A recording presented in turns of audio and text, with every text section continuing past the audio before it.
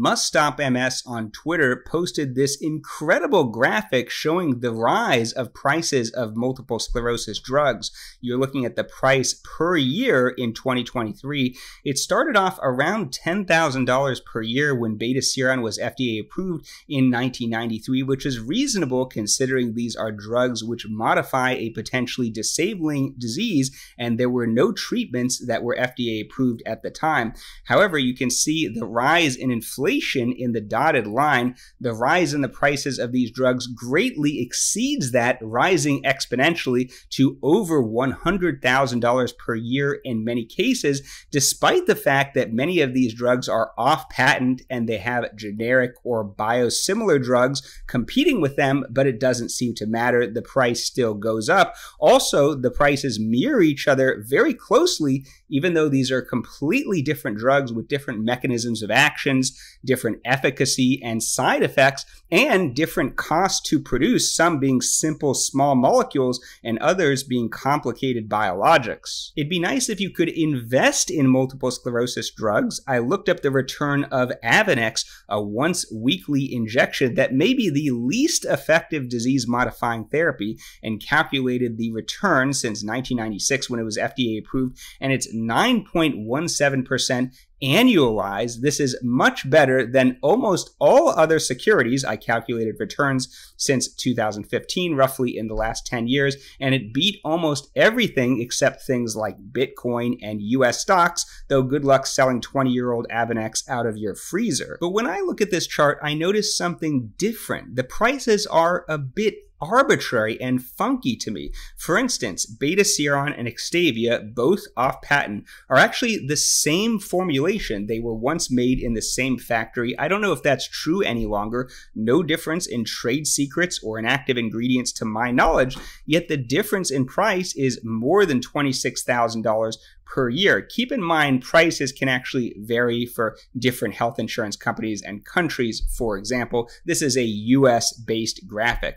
What about glatiramer acetate? The formulations, Copaxone and Glatopa, are very similar, but the price difference is roughly fourfold. Is Copaxone actually superior? What about Gilenya, a simple small molecule, a once daily pill for MS? It's generic. There are several manufacturers, some well established pharmaceutical companies, but the difference in price is 3900 per year versus 127 thousand per year, an enormous difference, but are the generics actually just as good? What about fumaric esters? Well, most are still on patent, but Tecfidera is generic. It has generic dimethyl fumarate, multiple manufacturers. It's a simple small molecule. The price difference is 2700 a year versus 109,000 a year. But again, are the generics really equivalent? And Aubagio and Tysabri also have generics and biosimilars respectively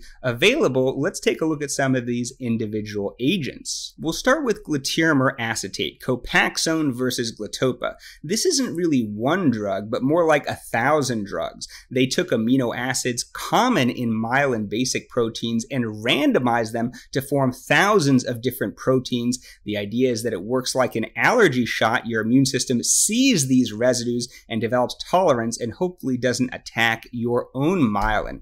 This study analyzed the composition of amino acids, and they were similar between the two formulations alanine, lysine, glutamine, and tyrosine were in the same proportions. They did various other chemical and biological assays, and these formulations seem to be very similar. This is a retrospective efficacy study comparing Copaxone, which was the original FDA-approved drug, versus Glatopa, which is the copycat drug, and they tried to match the individuals with MS for their baseline characteristics, like their age, their rate of recent relapses. There were 357 on Glatopa and 2,000 1,291 on Copaxone, and the annualized relapse rate, relapses per person per year, was 0.12, much lower with Glatopa compared to 0.3 with Copaxone. Now, of course, it's unlikely that Glatopa would be better than Copaxone. They're supposed to be the same thing. And the authors speculate that there were actually more prescriptions filled in people getting Glatopa, possibly because it was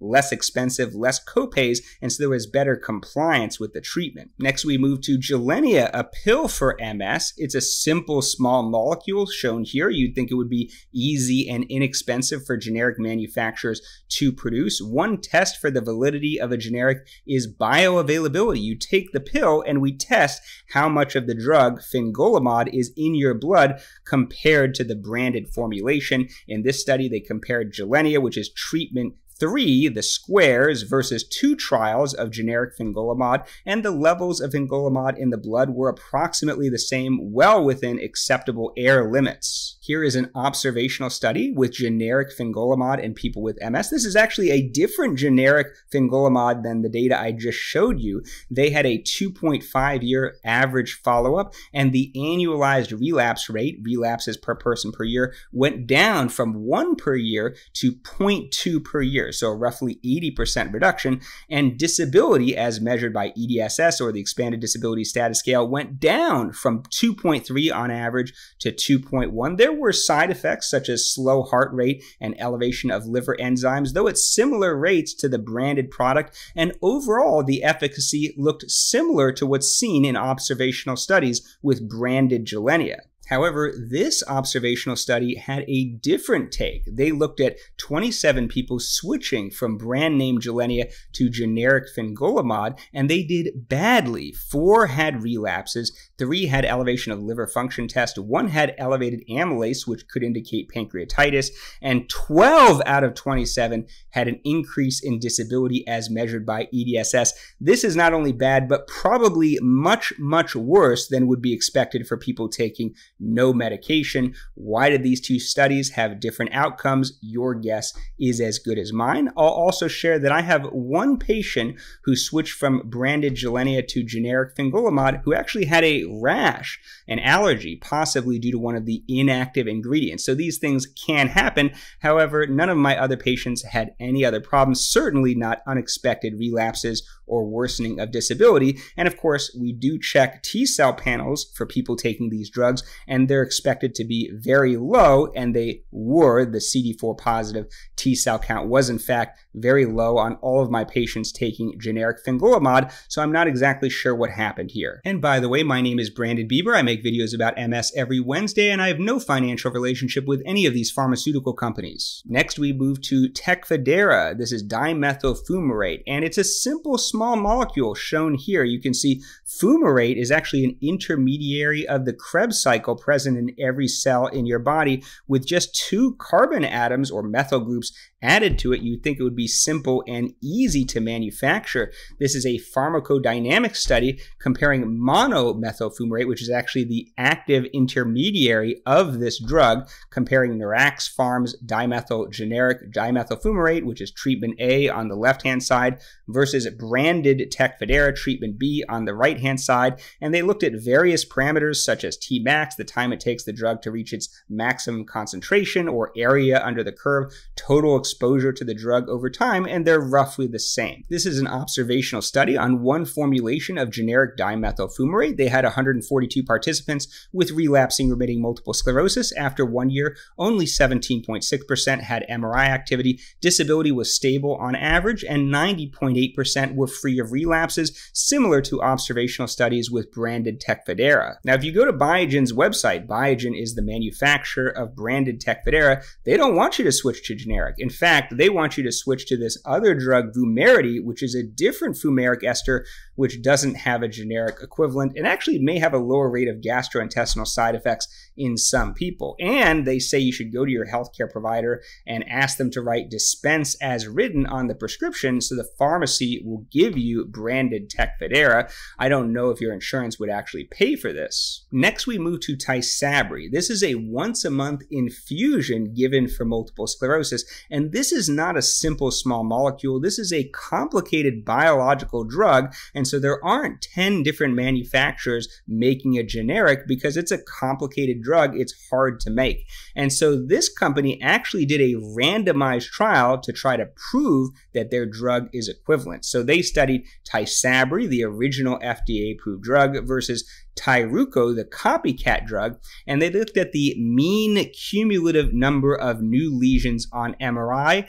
and it was roughly the same between Tysabri and Tyruko, so these drugs do seem to be equivalent and interchangeable. However, there are differences in inactive ingredients between the two formulations highlighted in red on this slide, so it's possible you could be allergic to one formulation, though not the other. However, most allergic reactions are going to be to the drug itself, natalizumab. The last thing I'll mention is a single case report on generic Aubagio. This is a once a day pill for MS a woman switched from brand name Aubagio to generic teriflunomide and shortly after developed a significant spinal cord exacerbation. In other words, worsening symptoms due to damage to the spinal cord. Later testing revealed that the generic teriflunomide pill had only 55% of the labeled amount. This drug is usually given 14 milligrams once daily. Now, this isn't quite as egregious as it might seem, as there is a 7 milligram formulation of Aubagio, which was almost as effective in clinical trials, but most would agree you want to get the amount of the drug you were actually prescribed, not something less. Now, the generic pharmaceutical company isn't saving any money by shortchanging the patient. This is a simple small molecule. I presume this was more of a technical error, but again, this is unacceptable. And I'll end with this. When I post things like this on social media, it typically receives a very negative response. Most people are highly skeptical of generic and biosimilar drugs, but I have a different opinion. My experience is mostly positive, and I really haven't had major problems with these types of drugs. And I think they're mostly good and ultimately will make multiple sclerosis drugs less expensive and more available to people with MS, though certainly there are pitfalls, as I've shown here, and some amount of testing and regulation is necessary because I'm not going to test those generic teriflunomide tablets. That's not within my scope of practice. I'd be interested to know your experiences. Have you ever taken a generic or biosimilar drug? Do you think it had equal side effects and efficacy? And let me know if you have ideas for other videos.